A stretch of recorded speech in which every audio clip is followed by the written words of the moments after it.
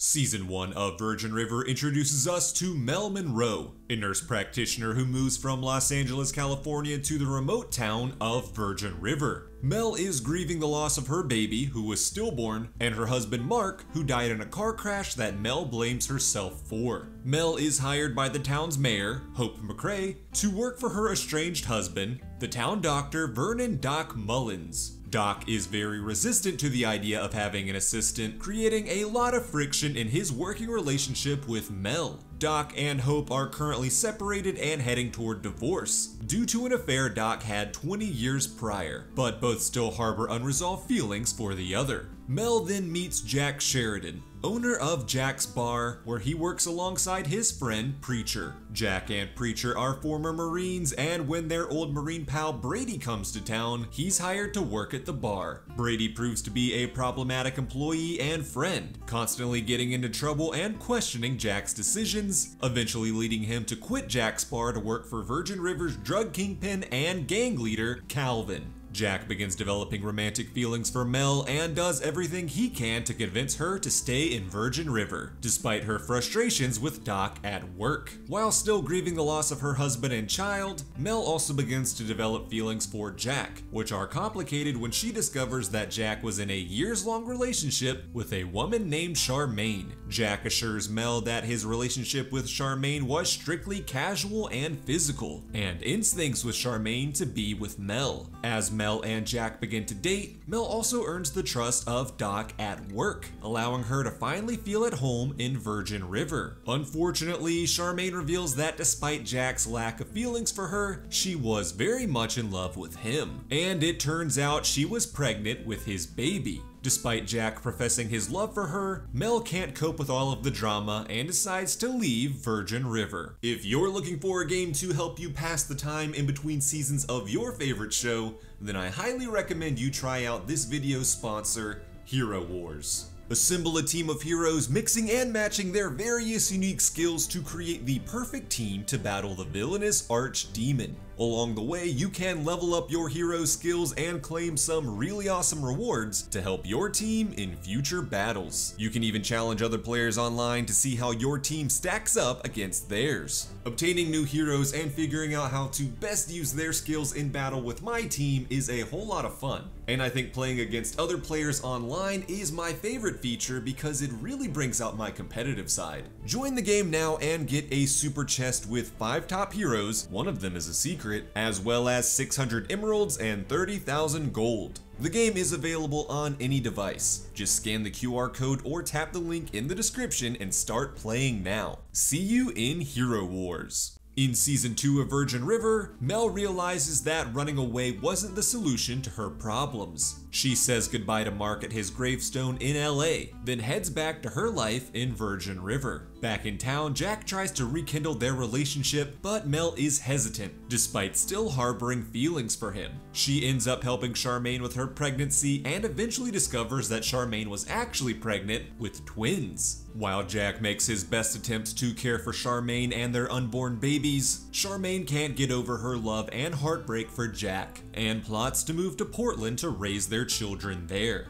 Jack also has to worry about his old Marine pal Brady, who is quickly becoming a loyal employee of drug kingpin Calvin. While Calvin's main business is marijuana, Brady soon discovers that the operation was also secretly smuggling fentanyl. A police detective named Mike, who also happened to be an old Marine friend of Jack, arrives in Virgin River to take down Calvin and his drug operation. One of Calvin's men, Spencer, offers to testify against his boss in exchange for immunity. When Calvin finds out about this, he orders Brady to kill Spencer. Brady can't go through with the act and instead helps Spencer fake his death and flee to safety. Elsewhere in Virgin River, Preacher befriends a woman named Paige and her young son Christopher. Paige came to Virgin River with a new identity to escape her abusive ex-husband Wes. When Wes arrives in Virgin River to confront his ex-wife, Paige accidentally kills him in self-defense. Preacher urges Paige to run away, as the police and Wes's twin brother Vince were looking for her. In her absence, Preacher promises to dispose of Wes's body and take care of Christopher. Meanwhile, the teenage teenage Ricky, a waiter at Jack's bar, begins to fall for the new girl in town, Lizzie. Lizzie was a bit of a troublemaker, encouraging Ricky to steal booze from the bar for them to drink. Despite objections from Lizzie's Aunt Connie, she and Ricky enter into a relationship. Also in a relationship, the estranged married couple Doc and Hope. Despite being publicly separated, Doc and Hope have secretly rekindled their relationship. Too anxious to go public with their newfound romance, Hope encourages Doc to go on a date with a woman named Muriel, who has taken a strong liking to him.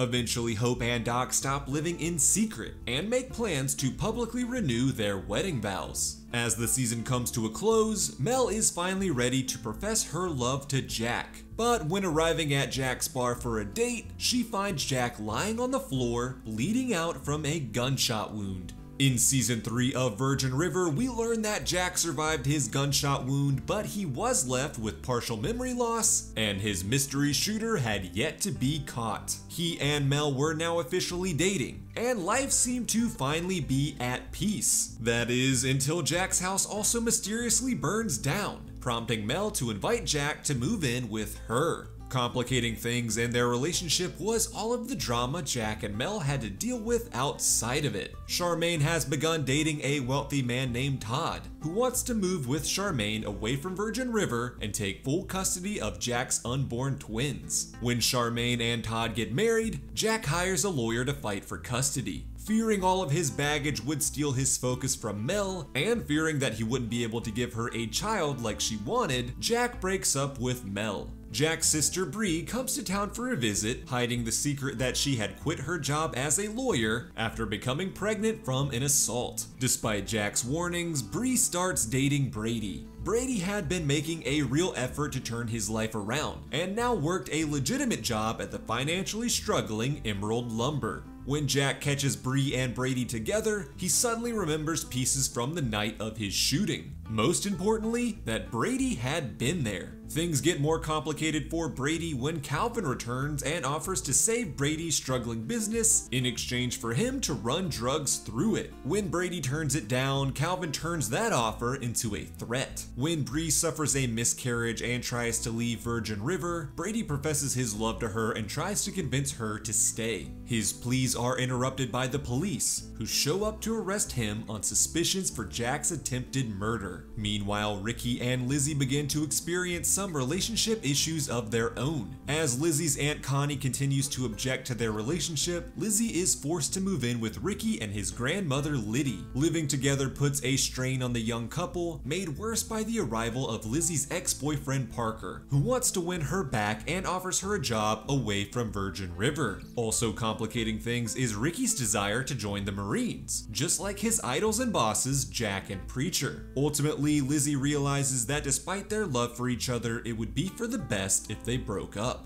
Preacher is continuing to look after Paige's son Christopher with some help from Connie. When Paige's friend Sally brings word that Paige planned on turning herself into the authorities for killing her abusive husband Wes, Preacher demands to see his friend to convince her otherwise. Ultimately, when Sally takes Preacher to see Paige, it was actually a trap, and Preacher is knocked out. As Hope leaves Virgin River to care for her aunt, Doc holds on to the secret that he would soon lose his vision. This prognosis meant that Doc would have to search for his replacement as the town doctor. Mel, unaware of Doc's vision loss, becomes frustrated when he leaves her out of his hiring process. Eventually, Doc puts his search on hold and confides in Mel about his prognosis, gaining her support. While Hope is away, Muriel once again tries to ingratiate herself into Doc's life. Meanwhile, Mel, heartbroken over her breakup with Jack, returns to Los Angeles to visit her sister Joey. While there, Mel decides to go through with the IVF treatments she had started with her late husband Mark before his death. When Virgin River resident Lilly dies of cancer, the town rallies around her family, ready to support her children and care for her farm. Following Lilly's funeral, Doc receives word that Hope had gotten into a car crash on her way back to Virgin River and was currently in critical condition. Meanwhile, an emotional Mel and Jack decide to give their relationship another shot.